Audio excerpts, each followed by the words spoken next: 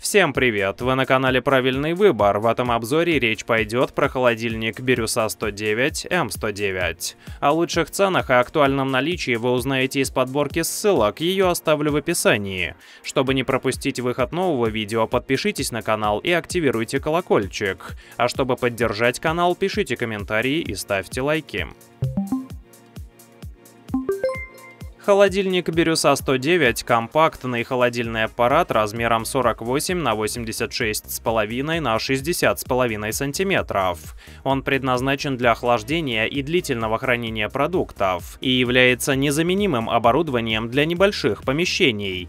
Прибор займет свое место в комнате общежития или коммунальной квартиры, а также отлично станет в гараже или другом часто посещаемом помещении. Благодаря перевешиваемым дверям устанавливать устройство можно в любом месте помещения. Холодильник необходимо установить в месте, недоступном для прямых солнечных лучей, на расстоянии не менее 50 см от осветительных и нагревательных приборов, газовых и электрических плит, печей и радиаторов отопления. Над холодильником должно быть свободное пространство не менее 10 см для циркуляции воздуха. Для удобства перемещения холодильники оснащены колесными опорами, установленными на основании компрессора.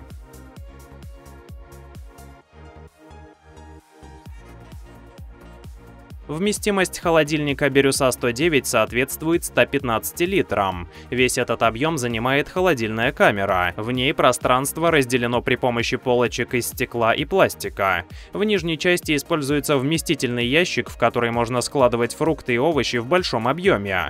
На дверце также предусмотрены полочки, на которые становятся бутылки, лотки с яйцами и различные продукты в упаковках. В качестве хладагента модель использует безопасное для здоровья и экологии технологии вещество R110A изобутан. При классе А уровень энергопотребления холодильника достигает 171,55 кВт-часов в год. Уровень шума при работе однокамерного холодильника не превышает 40 дБ. Температурный режим в холодильнике устанавливается поворотом ручки терморегулятора и поддерживается автоматически. При повороте по часовой стрелке температура в холодильнике понижается. При повороте против часовой стрелки температура повышается.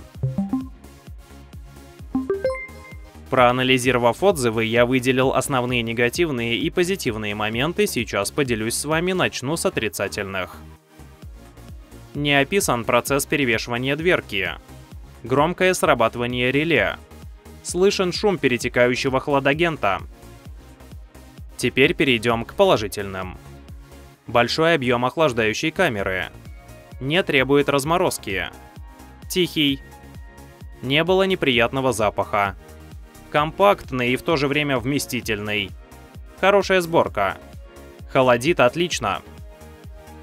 Напоминаю, что ссылки на полные характеристики и выгодные цены оставлю в описании под видео. Чтобы не пропустить новый обзор, подписывайтесь на канал и нажимайте колокольчик. Не забудьте поделиться мнением в комментариях и поставить лайк. До скорой встречи на канале «Правильный выбор».